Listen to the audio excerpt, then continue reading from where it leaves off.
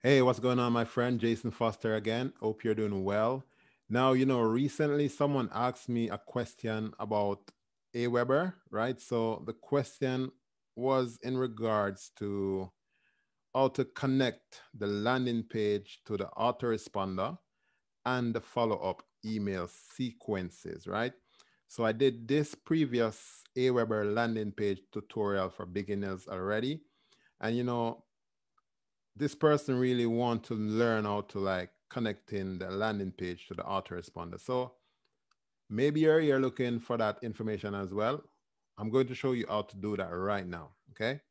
So I'm logged into my Aweber account right now.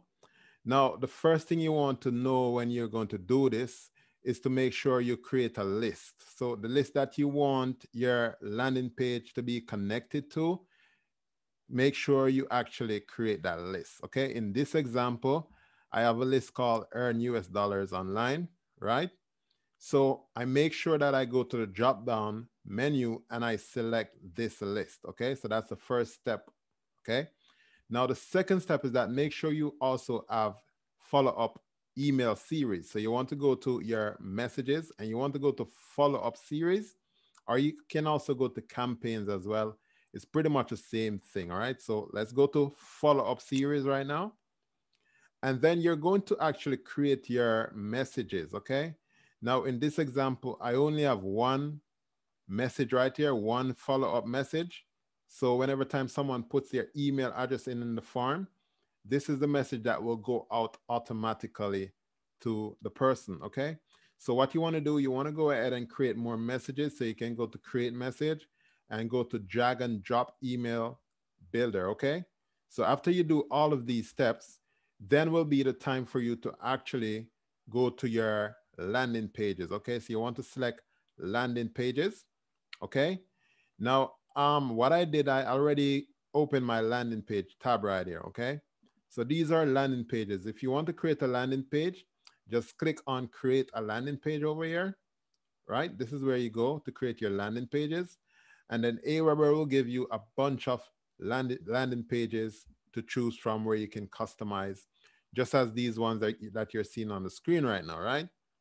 Now, after you create your landing page, you it will automatically be linked up to your list, as I mentioned, and also those email autoresponder that you set up, okay?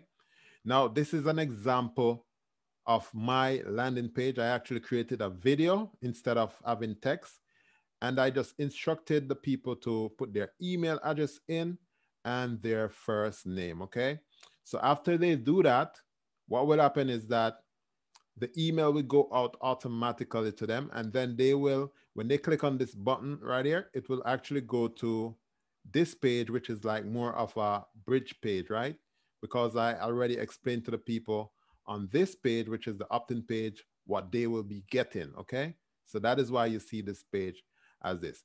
Now, that's how simple it is right now. Now, again, if you want to learn like the full tutorial, watch this video. I'm going to link it in the description. And also I'm going to put a link right up here so you can see that link if you're on a desktop, okay?